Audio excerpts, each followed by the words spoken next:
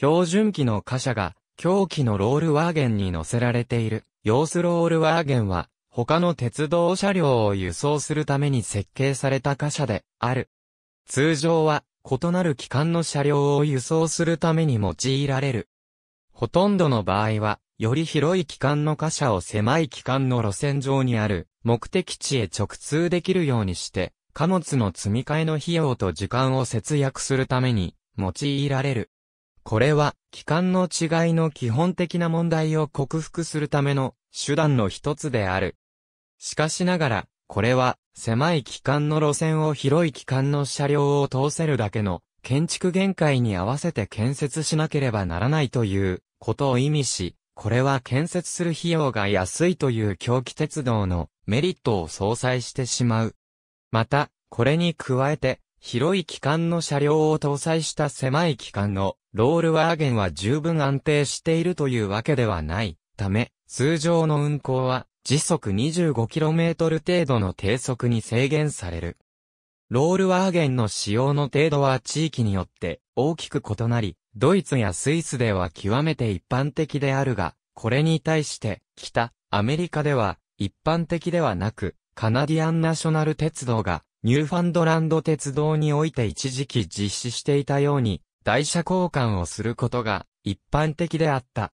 ミシガン州のポーポーのポーポー鉄道で短期間用いられ、また製材業者のエリシャケントケーンが廃止された、ブラッドフォードボーデルアンドキンズア鉄道の短区間でも実施していた。イギリスにおいては、リークマニフォールドバレー系弁鉄道でも用いられていた。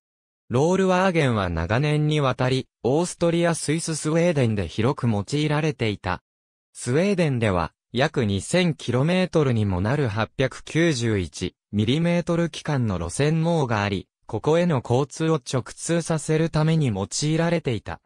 実際のところ南部スウェーデンの地方部では、多くが標準機の路線網を全く持たず、この狂気の路線だけであった。一方で、スウェーデンでは、ロールボックはほとんど使用されなかった。元々のロールワーゲンは、各、ロールワーゲンの間に連結棒が渡されていたが、これに対して、標準軌の貨車同士を、通常の連結器とバッファーを利用して連結することで、連結棒を省略するという試みが行われた。これはスウェーデンで、1980年代に、最後の狂気の貨物営業路線が廃止される前の数年間実施されていた。通常の狂気の貨物列車の最後にロールワーゲンを連結するために特別なアダプターが使用される。空気管も一緒に接続できるので、貫通ブレーキも使用可能である。初期の文献から見ると、ロールワーゲンのアイデアは1880年から1890年頃にドイツで考えられたようである。独特のヘーベルラインブレーキを備えたロールワーゲンが東ドイツでは1980年代末まで日常的に用いられていた。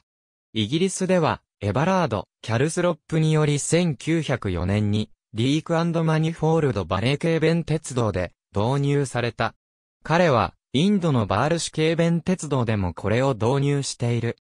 オーストラリアのポートピリーからマーリーまでの鉄道を、狂気から標準機へ改め機する中間時期には、狂気の石炭輸送列車が難所であるフリンダース峠を越えられるように、標準機の列車の長さを狂気の列車に合わせたものを用意していた。